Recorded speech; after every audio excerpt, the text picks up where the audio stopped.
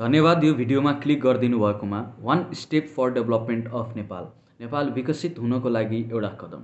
आज म यस्तो इम्पोर्टेन्ट स्टेपको बारेमा डिस्कस गर्न गइरहेको छु जुन स्टेप हेर्नमा एकदम सानो देखिएला तर त्यो स्टेप हामी तिन करोड नेपाली जनताले चाल्यो भने नेपालमा ठुलै इन्डस्ट्रियल रेभोल्युसन आउन सक्छ। मार्केटमा काम गर्दाखेरि इन प्रोसेस मैले के नोटिस गरेँ भने कन्ज्युमर बिहेभियरको कुरा गर्दैछु नेपाली कन्ज्युमर बिहेभियर पसलमा जाँदाखेरि पसले दाइले यदि कुनै पनि नेपाली प्रडक्ट देखाउनु हुन्छ भने त्यतिखेर हामीले दाइ अरू इन्डियन प्रडक्ट छैन अरू कुनै फरेन प्रडक्ट छैन अरू कुनै प्रडक्ट देखाउनुहोस् न अरू कुनै कम्पनीको देखाउनुहोस् न भनेर भन्छौँ। भनेपछि हामी डाइरेक्टली नेपाली प्रडक्टलाई नकार्छौँ रिजेक्ट गर्छौँ। त्यसो गर्दाखेरि नेपाली प्रडक्टको सेल्स एकदमै कम हुन जान्छ। हामी जहिले पनि त्यसरी इन्डाइरेक्टली फरेन प्रडक्ट्सहरूलाई मोटिभेट गरिरहेको छौँ। फरेन प्रडक्ट्सलाई मोटिभेट गर्नुको मतलब फरेन प्रडक्ट किनिरहेको छौँ।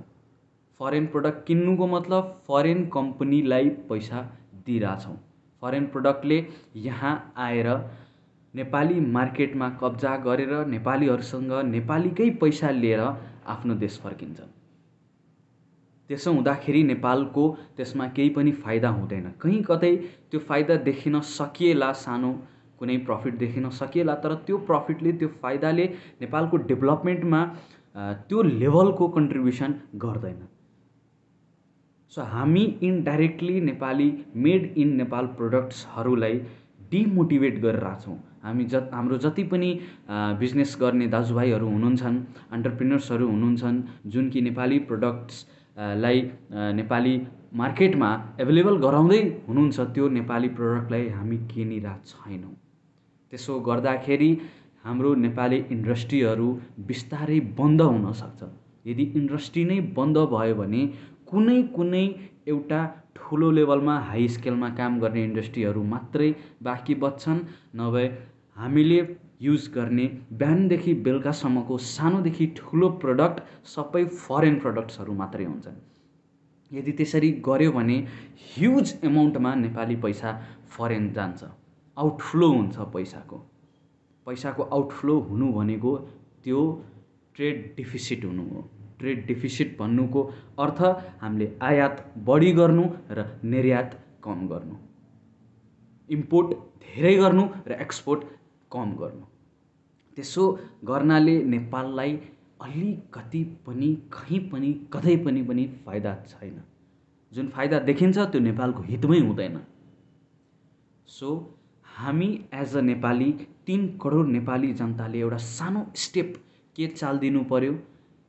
फरेन प्रडक्ट्सलाई होइन कि हाम्रो नेपाली प्रडक्ट्सलाई तपाईँहरूले सपोर्ट गरिदिनु पऱ्यो support in a sense purchase गरिदिनु पऱ्यो किनिदिनु पऱ्यो जय नेपाल मेरो मनमा नेपालीको माया छ। I love Nepal. यो स्टेटमेन्टहरू पास गरेर मात्रै नेपालको डेभलपमेन्ट हुनेवाला छैन। मनमा नेपाली माया राखेर मात्रै डेभलपमेन्ट हुनेवाला छैन। हामीले केही न केही कहीँ न कहीँ कन्ट्रिब्युसन आफ्नो तर्फबाट पर्सनल कन्ट्रिब्युसन दिनुपर्छ। त्यो कन्ट्रिब्युसन हामीले कसरी दिने हो भने पसलमा जाँदाखेरि किरानाको पसलमा होस् कि लुगा पसलमा होस् कि मेडिसिन पसलमा होस् कि कस्मेटिक पसलमा होस् कि चाहे जस्तो सुकै पसलमा जाँदाखेरि दाई दिदी भाउजू अङ्कल आन्टी भाइ मलाई नेपाली प्रडक्ट देखाइदिनुहोस् न। मलाई नेपाली प्रडक्ट चाहियो। मेड इन नेपाली प्रडक्ट छैन र नेपाली प्रडक्ट नै माग्नुहोस्। प्लिज यो मेरो तर्फबाट एज अ नेपाली तपाईँहरूको लागि रिक्वेस्ट हो। त्यसो गर्नाले प्रेसर बिल्ड हुन्छ पसले दाईहरूमाथि। उहाँहरूले इन्डियन प्रडक्ट नै राख्नुहुन्छ फरेन प्रडक्ट नै राख्नुहुन्छ। किन? किनकि हामीले माग्दै माग्दैनौँ नेपाली प्रडक्ट्स र एज अ पसले म त्यही प्रडक्ट राख्छु जुन प्रडक्ट बिक्री हुन्छ जुन प्रडक्ट सेल हुन्छ बढी। नेपाली प्रडक्ट बिक्री नै हुँदैन अनि किन राख्ने त नेपाली प्रडक्ट? त्यसैले जानुस् पसलमा नेपाली प्रडक्टको बारेमा सोध्नुहोस् नेपाली नै खोज्नुहोस् मेड इन नेपाल प्रडक्टहरूलाई प्रोत्साहित गर्नुहोस् मोटिभेट गर्नुहोस् त्यसो गर्नाले के हुन्छ? नेपाली प्रडक्ट्सहरूको सेल बढ्छ। नेपाली कम्पनीहरूले बनाउने प्रडक्टहरूको सेल बढ्छ। नेपाली सेल बढ्यो भने प्रडक्सन हाई लेभलको हुन्छ एक्सपान्ड हुन्छ नेपाली कम्पनीहरू नेपाली कम्पनीहरू एक्सपान्ड भयो भने रोजगारीको अवसरहरू आउँछ इम्प्लोइमेन्ट अपर्च्युनिटीहरू आउँछ। इम्प्लोइमेन्ट अपर्च्युनिटीहरू बढ्यो भने हाम्रो नेपाली म्यान पावर बाहिर जाँदैन। खाडी मुलुकमा मेहनत गर्नु पर्दैन आफ्नै कन्ट्रीमा आफ्नै देशमा आफ्नै कम्पनीमा काम गर्ने अवस्था सिचुएसनहरू सिर्जना हुन्छ। र अर्को एङ्गलले हेर्ने हो भने सेल्स बढ्यो भने कम्पनीको प्रफिट बढ्छ। र कम्पनीको प्रफिट बढ्यो भने ट्याक्स जेनेरेसन धेरै हुन्छ र गभर्मेन्टले त्यो ट्याक्स जेनेरेसनबाट अरू अरू सेक्टरमा धेरै किसिमको राम्रो लगानीहरू गर्न सक्छ। तपाईँको एउटा सानो कन्ट्रिब्युसनले कति ठुलो इफेक्ट पार्छ यो देशलाई? र धेरैजनाले भन्न सक्नुहुन्छ होला कि नेपाली प्रडक्ट किन किन्ने हामीले? नेपाली प्रडक्टमा त क्वालिटी नै हुँदैन। कस्तो कम क्वालिटी भएको प्रडक्ट्सहरू हुन्छ नेपालमा। हामीले पाँच रुपियाँ नै तिर्दाखेरि पाँच रुपियाँको सट्टामा हामीले भ्यालुएबल प्रोडक्ट्सहरू क्वालिटीफुल प्रोडक्ट्सहरू पाउनु पऱ्यो नि त। म उनीहरूको एन्सरमा के भन्न चाहन्छु भने first product is never a best product है भर्खरै मार्केटमा लन्च भएको प्रडक्ट कहिले पनि बेस्ट प्रडक्ट हुँदैन क्वालिटीको मामलामा।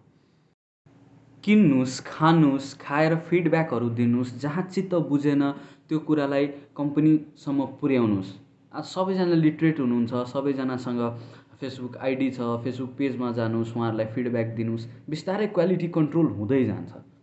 आज जति पनि रनिङ प्रडक्टहरू छ मार्केटमा जुन जसले कि हायर लेभलको क्वालिटीहरू सर्भ गरिरहेको छ त्यो प्रडक्ट एकैचोटि क्वालिटीफुल भएको होइन।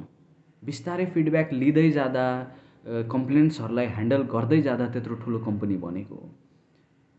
सो भन्नुको तात्पर्य कन्क्लुजन यही हो कि please please support made in Nepal product ने मेड इन नेपाल प्रडक्ट जति पनि छ जुनसुकै सेक्टरको प्रडक्टहरू हो तर मेड इन नेपाल हो त्यो प्रडक्टलाई सपोर्ट गर्नुहोस्।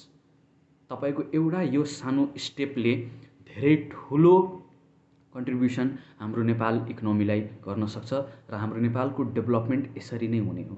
कुनै पनि देशको डेभलपमेन्ट उसको इन्डस्ट्रियल सेक्टर कति स्ट्रङ छ त्यसमा डिपेन्ड गर्छ।